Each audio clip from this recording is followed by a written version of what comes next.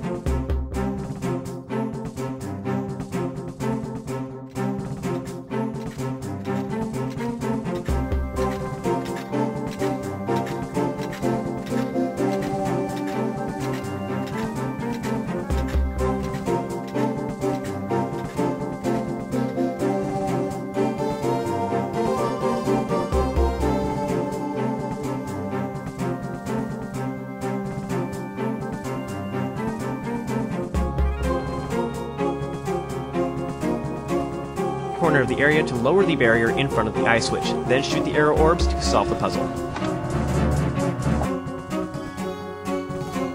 Will be able to plow through and you can just simply sneak up behind them and stab them in the back so that you can have her switch bodies with them. You can continue solving this puzzle in the middle, but real quick, let's go get some treasure.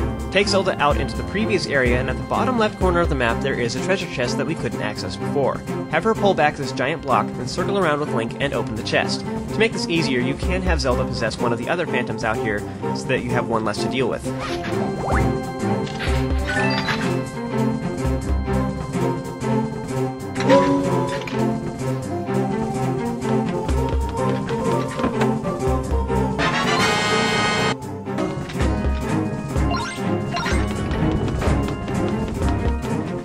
Switches in the top left corner can be held down by one of the bigger blocks. This is good because we have a very limited supply of these smaller blocks. Get the smaller one out of the way, then have Zelda steadily push and pull the big block to get it to the top left corner. Meanwhile, you can have Link pushing one of these smaller blocks to the south.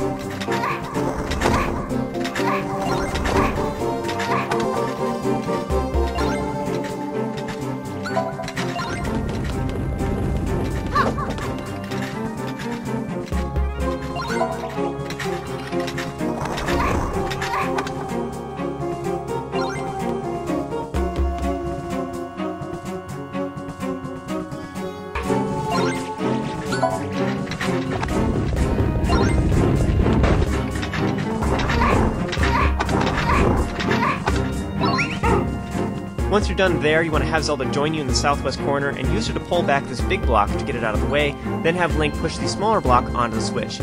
Alternatively, you could have Link push it and pull it, the small block, through the narrow path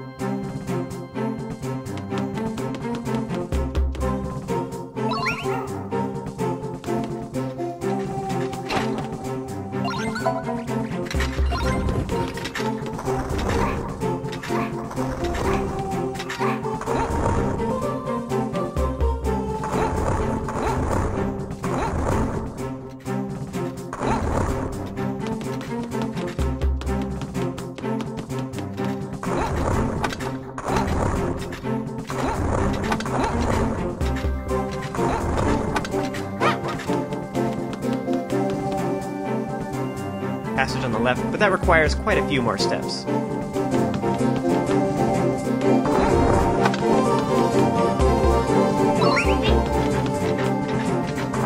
Finally push the remaining small block all the way to the top right corner where there are two switches. We can't get a big block back here obviously, but we can press down one switch. The remaining switch can be held down by Zelda. You only need to have them pressed down temporarily anyway, and we need Link free to go open the chest. There are some slight variations on how you could have solved all these, such as having Zelda stand on a different switch or getting to the bottom right corner pressed down by moving the blocks in a slightly different way, but this is the quickest and easiest way that I've found to solve all these. The chest we unlock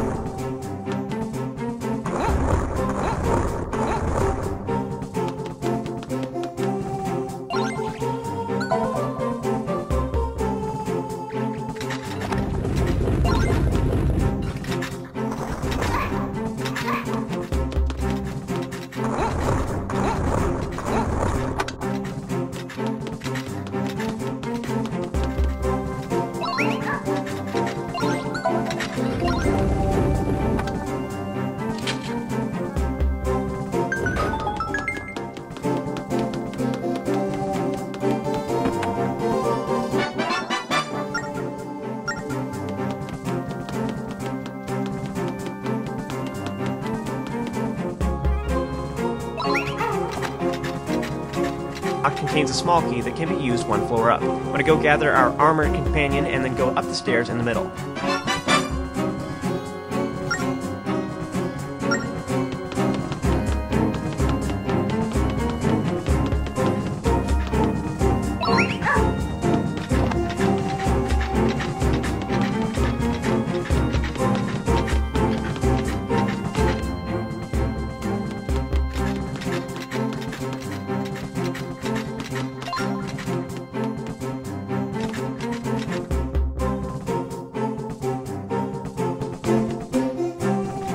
Those two treasure chests on this floor that I mentioned earlier, but we can't get to them just yet. You want to open the locked door and go up the stairs.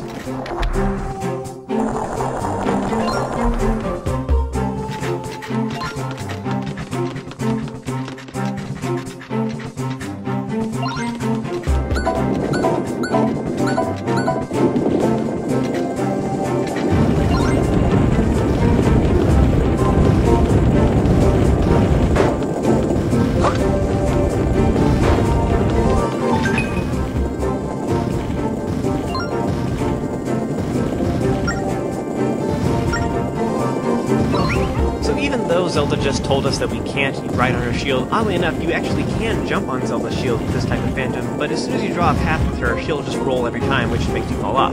Kind of weird, since when she's following you, she walks, but when you draw a path, she rolls. I think it would made more sense if she just, with this type of phantom, she just rolls all the time, maybe didn't even have a sword and shield, but instead just looked bulkier, maybe big fist or something, I don't know. But I can understand the increased development time that would have taken for something so nitpicky. It's honestly not that important, but oh well. Follow the only path which leads to the far south where you'll find some stairs leading up the floor. In this room, I recommend against the urge to destroy the blocks, and you'll soon discover why here in a moment.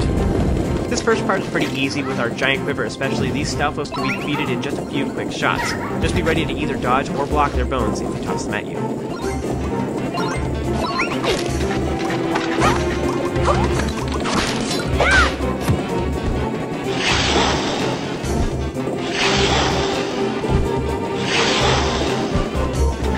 These Geozards are pretty easy now that we can take away their shield with our whip. However, having several of them come at us at once is troubling though. You can use Zelda to draw a bunch of circles, and they always follow you, so you can lead the Geozards into her path where they'll die very quickly.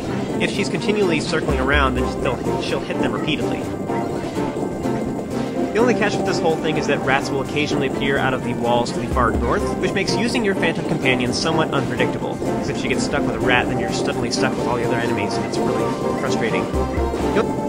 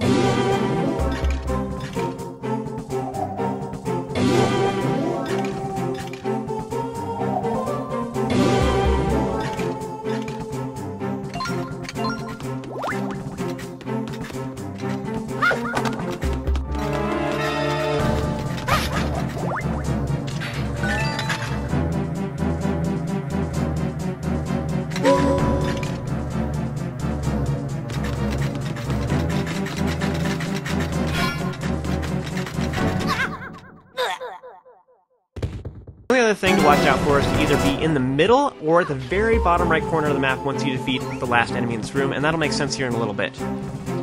So once you've finished off the last enemy, a regular phantom will appear in each corner. So if you're standing in the middle, they won't see you when they patrol around, but if they do see you, it's much easier to lure them around if you have the blocks in the way, which is why I recommended against destroying them earlier. Now the one part of this that makes it really hard is if Zelda gets stuck with a rat near her because she can't possess another phantom until you've saved her. So you have to sneak past the phantoms and then go save her and then run all the way back to the safe zone. So if that happens, you're probably best luring all the phantoms to the bottom right corner, then waiting for them to leave, and as they're all going away, you can then rescue the princess and then claim the phantom. Now you can just run away and just attack a phantom, but it may be easier to simply use Zelda's Wrecker Phantom to plow through a whole bunch of them and stun them all at once.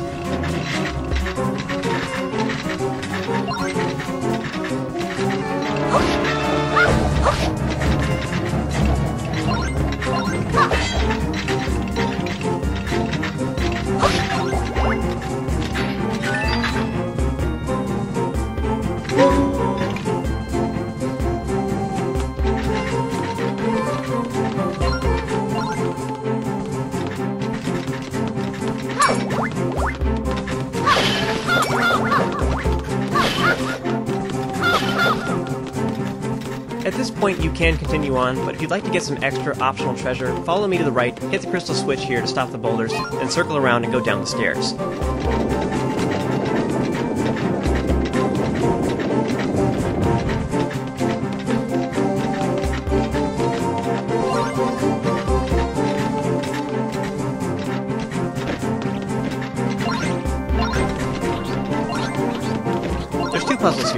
Only do one of them before because we needed a regular phantom. Now that we have one, it's time to go get those chests. First have Zelda stand here, then go to the top right corner of the map and grab the arrow orb off the platform and bring it back. Set the arrow orb on the ground draw a path from Zelda to the orb. With this type of phantom, she can pick it up and walk around with it. Go have her stand near the door on the left. With Link, go stand on the floor switch on the platform, which opens the door. Have Zelda go stand on the mark on the floor in the next room, then use the boomerang to redirect both of the nearby arrow orbs so that they're facing north towards the two ice switches.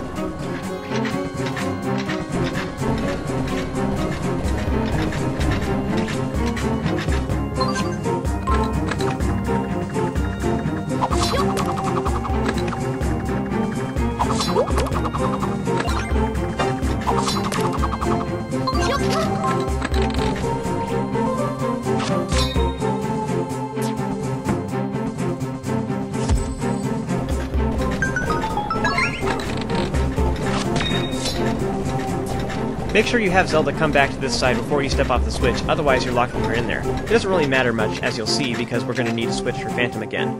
Next, go open the chest to claim your treasure.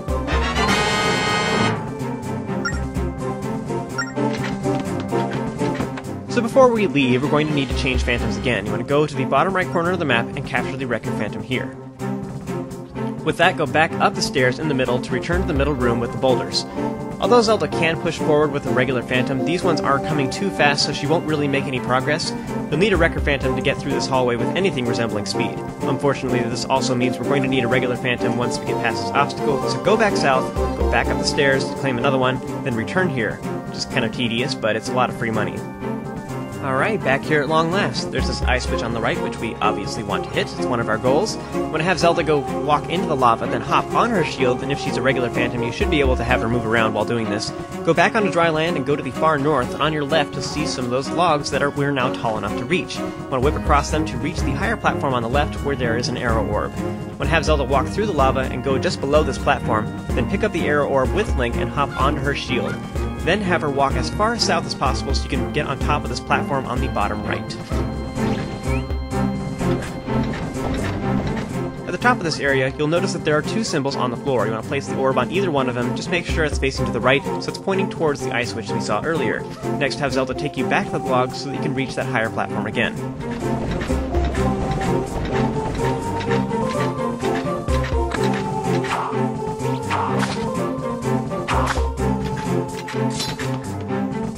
Alright, now move Zelda to the far left side of the room. Unfortunately, because this path is somewhat near that other orb that we just placed, it may lock onto it, so sometimes you have to do this repeatedly, and other times it's not an issue at all, but try and circle around it and go to the very far left where there is another arrow orb on a platform near the stairs.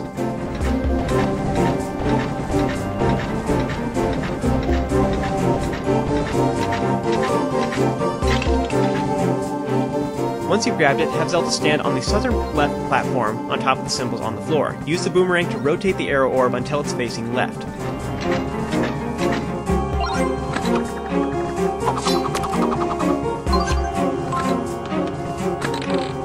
At long last, shoot the orb on the right to temporarily remove the barrier on the left. Then shoot the other orb to hit the eye switch, which unlocks the door. Enjoy totally unlimited data and zero usage caps with fast, reliable fibre broadband from.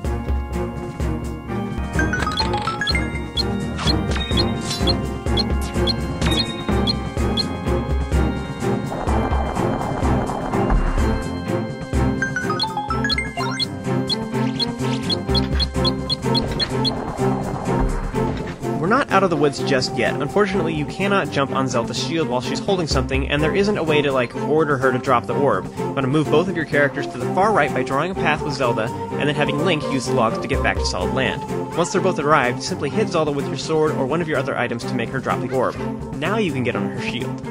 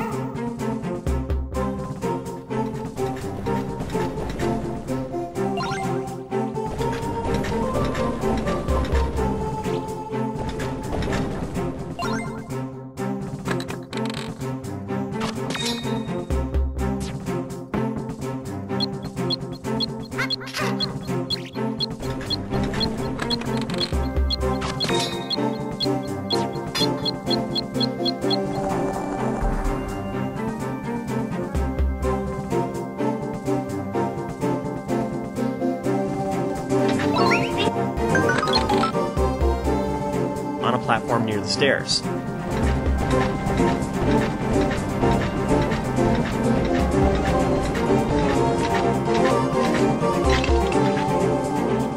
Once you've grabbed it, have Zelda stand on the southern left platform on top of the symbols on the floor. Use the boomerang to rotate the arrow orb until it's facing left.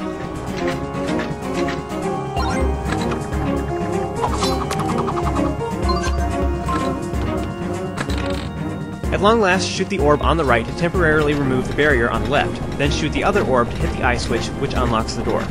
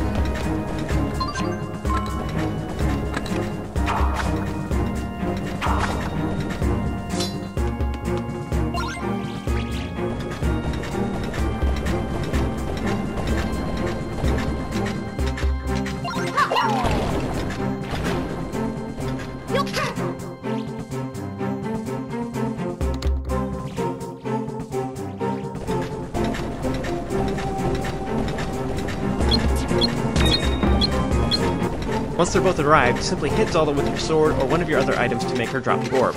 Now you can get on her shield.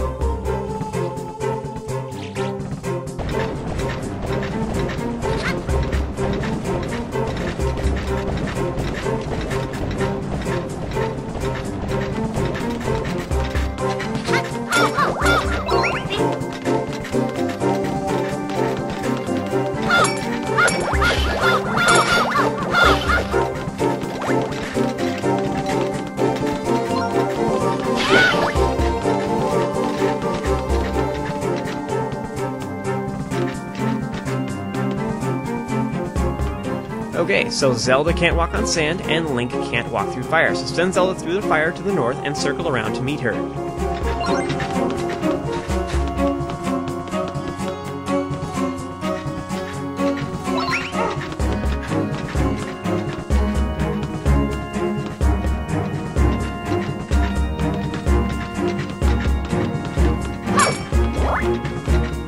Stock up on arrows here, then send Zelda through the flames to pick up the electrified key. This means that we can't pick up that key with Link at all.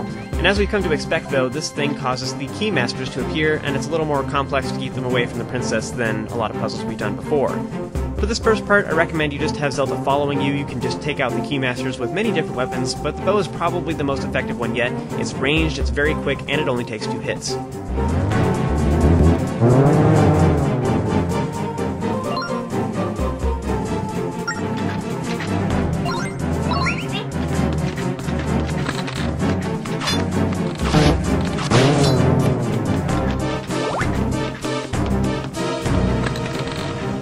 This corner, quickly move Zelda north before this one reappears, otherwise you'll spawn right on top of you and you'll lose your key that way. This is the hard part. When I position Link just past the sand, and there's basically three ways to do this. The first is to kill the Key Masters, and then have Zelda race to the end, which is effective, but they could reappear in the midst of this. so that's kind of scary. The second idea is to switch back and forth between Zelda and Link. You want to inch your way forward once you kill the first one, and then kill the second one, and then go have her go forward for the final stretch. This is probably the most time-consuming method, uh, but I also think it's the most dangerous because they could reappear on top of you. But also, if you move too close to the second one, then it will start coming after you before you're ready. So that's also kind of scary as well.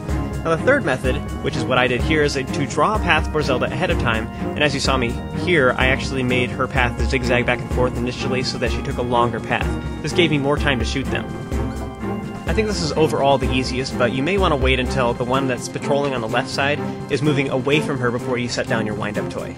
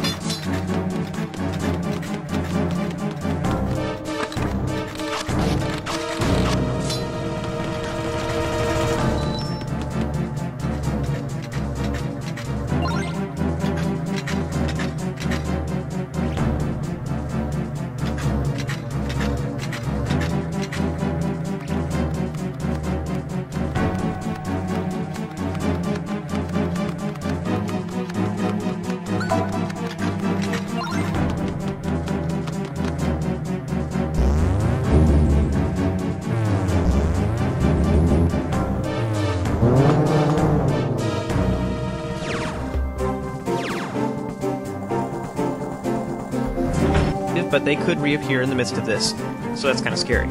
The second idea is to switch back and forth between Zelda and Link. You want to inch your way forward once you kill the first one, then kill the second one, and then go have her go forward for the final stretch. This is probably the most time-consuming method, um, but I also think it's the most dangerous because they could reappear on top of you, but also if you move too close to the second one, then it will start coming after you before you're ready, so that's also kind of scary as well. Now the third method, which is what I did here, is to draw a path for Zelda ahead of time, and as you saw me here, I actually made her path north before this one reappears, otherwise you'll spawn right on top of you and you'll lose your key that way. This is the hard part. When a position Link just past the sand, and there's basically three ways to do this. The first is to kill the Key Masters, and then have Zelda race to the end, which is effective, but they could reappear in the midst of this, so that's kind of scary. The second idea